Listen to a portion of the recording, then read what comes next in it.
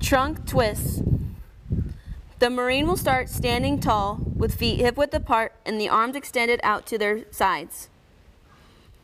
Execution.